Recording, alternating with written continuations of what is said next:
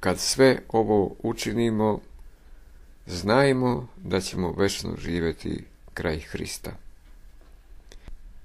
O ljubavi i smirenju Božijem, o blagodati i strahu Božijem.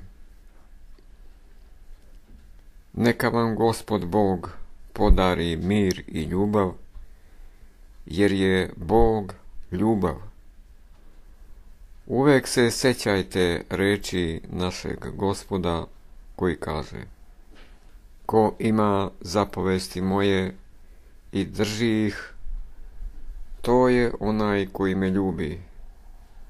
A koji mene ljubi, toga će ljubiti otac moj. Njemu ćemo doći i u njemu ćemo se nastaniti.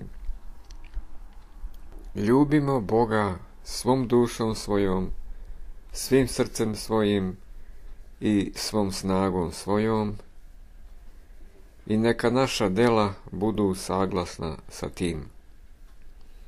Drugim rečima, trebalo bi da naša dela odražavaju našu ljubav prema njemu. Kad naša dela budu pravilno izvršena, Bog će nam se udužiti božanskom ljubavlju u našim dušama. Onaj ko je našao ljubav svakodnevno okuša Hrista i na taj način postaje besmrtan. Ko jede od ovoga hleba koji ću mu ja dati, živeće vavek, kaže sveto evanđelje Jovan 6.51. Onaj ko okuša ljubav Hristovu, donosi mnogo plodova. Duša koja ljubi Isusa udiše duhovni vazduh drugog sveta, sveta duha koji je carstvo nebesko. Ona još u ovom životu okuša vodu koja izvire od prestola Božje blagodati. Piće božanske trpeze je božanska ljubav. Razvratnici piju ovo piće i rane njihovih grehova se ublažavaju. Pijanci postaju isposnici, bogataši čeznu za siromaštvom u Hristu. Siromasi bivaju obogaćeni božanskim nadama, slabi postaju jaki, neuki postaju mudri. Ljubav je hrišćanska pobjeda nad djavolom, mržnjom i zavišću. Da bismo stigli do božanske luke ljubavi Božije, najpre ga se moramo plašiti kao Boga koji kažnjava grehe i prestupe.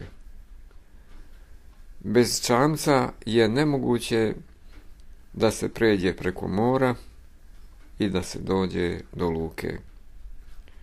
Isto tako, ni do luke ljubavi se ne može doći bez pokajanja. Strah Božiji predstavlja za nas zapovednika i kapetana na čamcu pokajanja. On nas vodi preko mračnog mora ovoga života i upravlja nas ka božanskoj luci božanske ljubavi. Kao što ne možemo da živimo bez vazduha, isto tako ne možemo da živimo ni u večnom životu i sa Bogom, ukoliko nismo udahnuli najslađiji i najmirisniji vazduh ljubavi Božije. Zbacimo breme svojih grehova silom pokajanja i tada laki i slobodni kao orlovi uzletimo visoko gdje je večni Bog nahranio neiscrpna blaga vrline i mudrosti kako bismo mogli da se napijemo voda večnog života, kao što kaže pismo ovako. Bogovi ste i sinovi višnjega ste. Isaija 82.6 Prisilimo se, čeda moja, jer se ljubav Božja ne zadobija nemarom i tromošću, nego revnošću, poslušanjem, trpljenjem, bezmolvijem, molitvom i prisiljavanjem u svemu.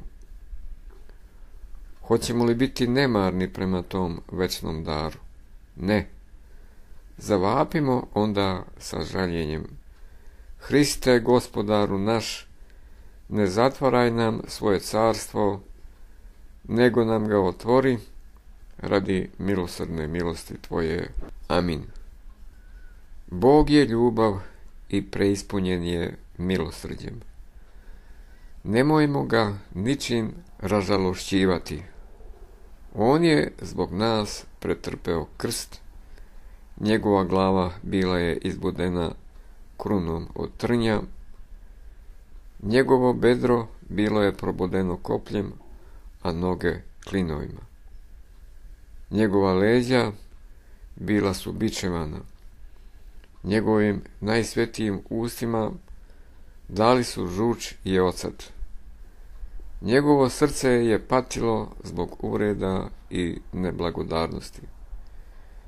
Bio je obnažen na krstu pred tako demonskom gomilom. To je onaj kojega ne bi trebalo da rastužujemo svojom nebrigom, jer ona samo uvećava njegove patnje.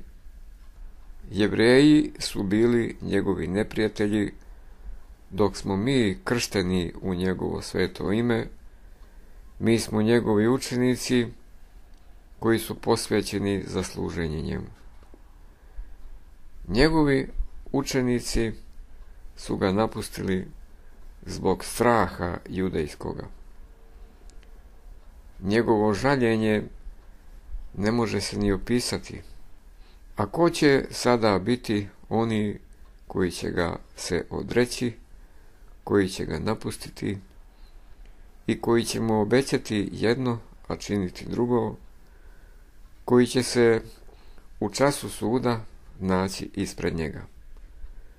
Šta će reći kad Hristos počne da jedno po jedno nabraja svoja stradanja, dok će oni moći da pokažu samo svoje odricanje i mnoga zlodela. Čeda moja, obratimo pažnju na svoje živote. Imajmo u svemu ljubavi i trpljenja. Ne osuđujmo i ne udaljimo svaku zlu pomisao, smirimo se, sećajmo se teškog časa smrti i suda. Kada sve to učinite, znajte da ćete večno živjeti kraj Hrista. Kao angeli kraj njegovog prestola pojaćete večne himne preispunjene radošću. Kako ćete tada biti srećni? Zaboravit ćete sve ovdašnje stvari. Samo radost i beskonačna pasha. Slava Bogu koji nam je podario pobedu. Molim se da ljubav Božja orosi tvoju žednu dušu i da tvoje srce utoli žeđ na izvoru vode. Tako duša moja traži tebe Bože, kad ću doći i pokazati se licu Božjemu. Psalam 42. Slava tebi Bože, jer velika je tvoja milost prema meni.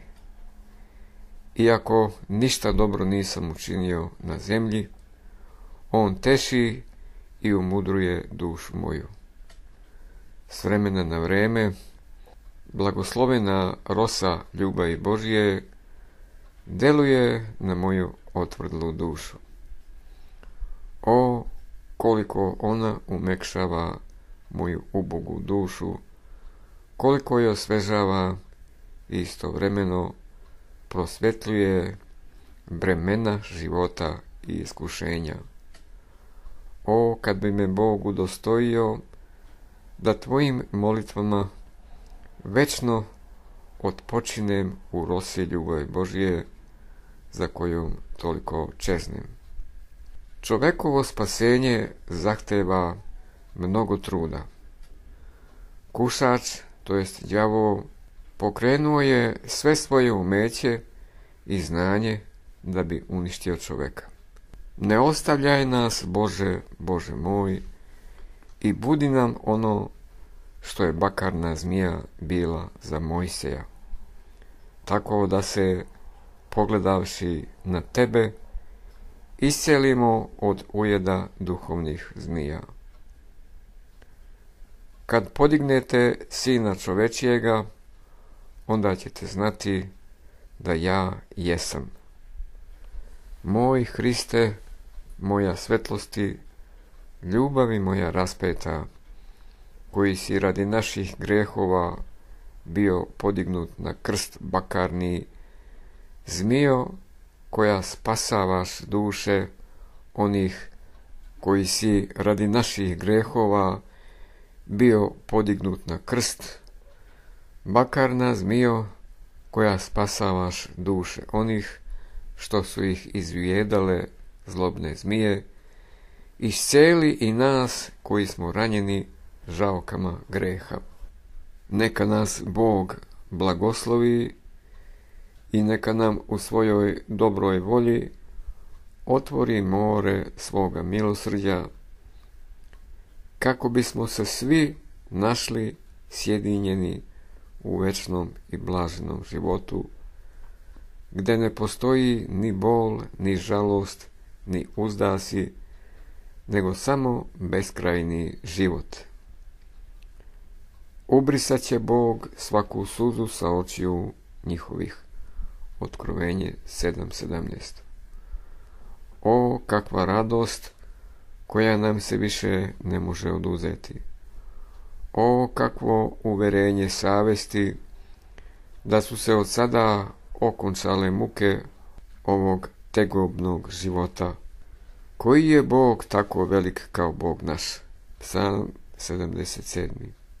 On je otac preplavljen milosrđem koji ne obraća pažnju na grehe sve dotle dok pokajani sin govori Oče greših nebu i tebi. Luka 15.21 Otac ga tada bez oklevanja grli i ljubi i iz njegovog srca nestaje svaki trag nezadovoljstva koje je mogla izazvati razvratnost njegovog čeda. Obeznanjujem se kada razmišljam o ponoru njegovog očinskog milosrđa prema grešnicima.